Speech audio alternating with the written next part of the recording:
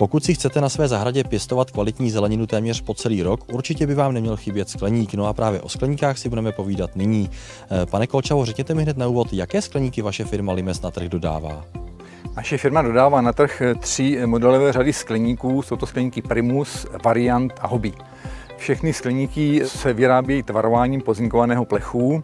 Jako výplně používáme skleníkové sklo. To má tu výhodu, že vlastně rozptyluje sluneční paprsky a nepálí to, co vlastně v tom skleníku pěstujeme. Pak můžeme dodávat skleníky s čirým sklem, s kaleným sklem a to sklo může být jak čiré, tak toto skleníkové sklo a další výplní může být i polikarbonát.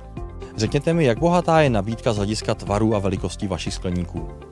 Máme skleníky šířky 2 metry, nejširší skleník máme široký 4 metry 20, délky vlastně podle potřeb zákazníků nastavují se po určitých segmentech. Děláme i přístavby ke stěně, takže tím pádem zákazníci využijí různé stěny u e, garáží nebo domů nebo stodol a podobně. Řekněte mi také, jaké technické možnosti vaše skleníky nabízí?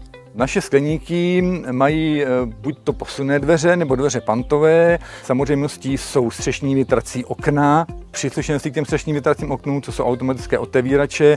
Pro lepší eh, odvětrávání můžeme ještě použít eh, boční větrací okna. Pokud jsou skleníky delší, můžeme použít druhé dveře. Další volitelné příslušenství jsou okapy na zachycení dešťové vody. Je možné ty vaše skleníky pořídit i v různých barevných provedeních? Skleníky nabízíme buď základní pozinkovaném provedení nebo s porochovou úpravou práškovým vypalovacím lakem v šesti barevných odstínech. Pane Kolčavo, a na závěr se vás zeptám, proč byste divákům doporučil právě vaše skleníky?